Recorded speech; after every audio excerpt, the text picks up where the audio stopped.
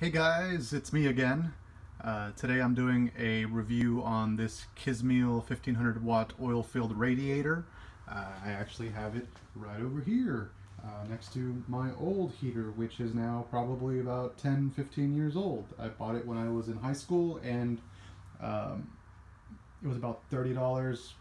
Never really did a good job of heating up the room.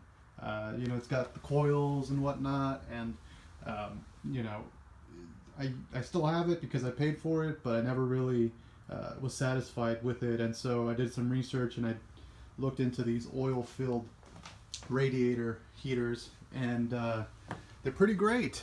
Uh, so let's take a look here. So this is the product on Amazon. I think I paid about $55 uh, maybe two, two years ago or so.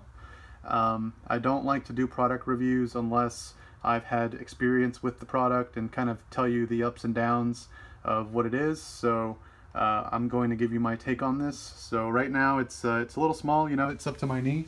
So in reference, there's my knee. So I'm about 5'11". Um, you know, it's it's it's small, but it's mighty. Like it will heat a room that's about 10 feet by 20 feet uh, comfortably. Uh, it'll keep that room warm. Uh, we don't really have high ceilings here at our house. They're probably maybe 10 feet, uh, 10 feet tall, so just keep that in mind. Um, so, you know, they say uh, suitable for personal space, which is great. It's very true. Um, portable and convenient. I think it's great. Uh, it's a great heater, but honestly, it's a bit of a pain to move around because all you have is this handle.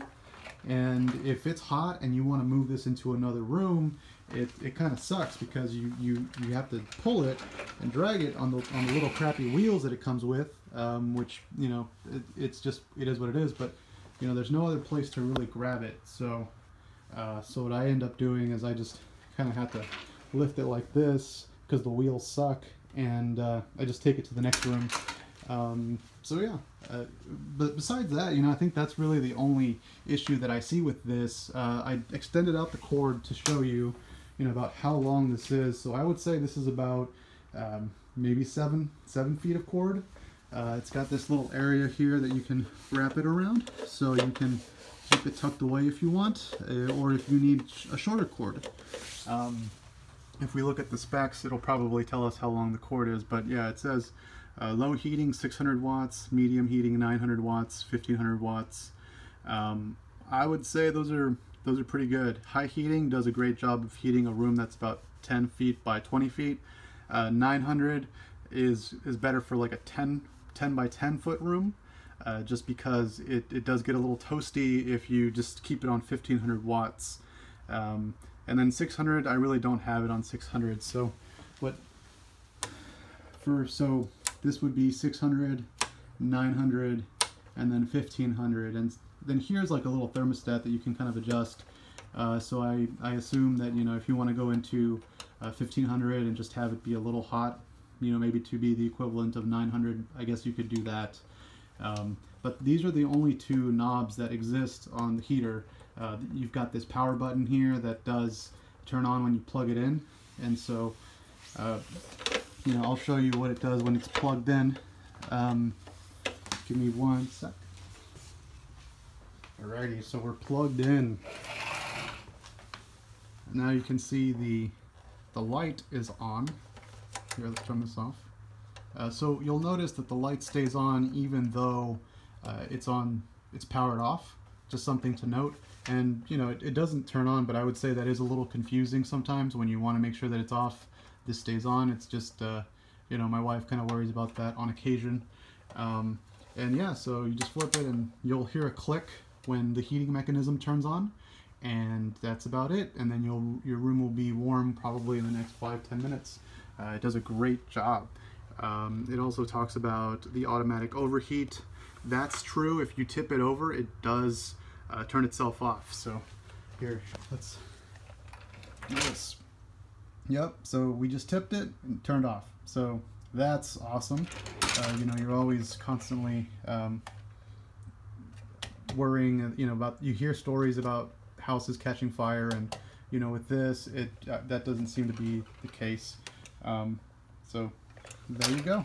That's how that works. Uh, and keep you away from the cold. Yeah, I mean, it, it keeps you it keeps you warm. So overall, I would say that this is a great little heater. I wish that I had purchased this first compared to what I had uh, previously. Uh, you know, this one. I just keep this in the garage now because it's a it's a good backup. But honestly, it, it just it's always on, and it doesn't heat the room well, and I don't recommend it. If you if you see this, I would say stay away from it. Uh, if you see one of these, I would say go for it. Um, the other cool thing is that thermostat turns on, or the uh, the heating element turns on and off based off of how hot it gets. So that saves you saves you power.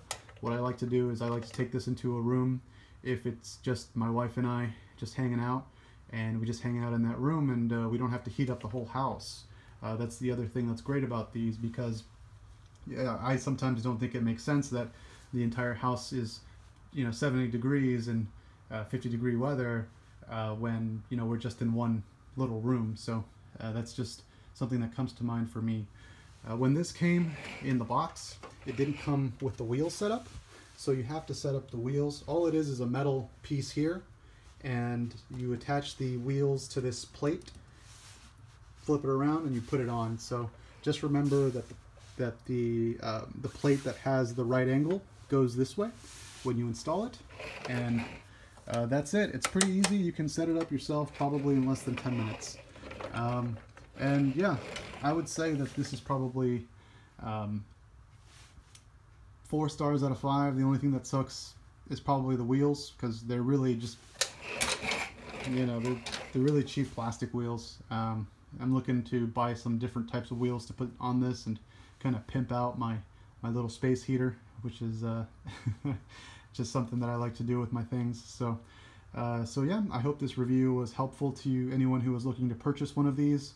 If you have any questions, feel free to ask in the video comments and and that's it. Um, on one last note, I will say is um, if this is on for an extended period of time in the room, um, it does get a little dry. Um, I would say that that's kind of maybe the standard with what happens with most heaters in general, but I did notice that the room gets a little stuffy and we uh, end up opening a door or something so that we get a little bit more moisture in the room because it just gets it just gets very uh, very dry. So uh, just something to look out for. Um, trying to think if there's anything else to to bring up, but I don't think there is. So uh, thank you guys for watching the video. Hopefully this helps you make an informed decision on what you're purchasing, and I'll see you guys next time. Take it easy. Bye-bye.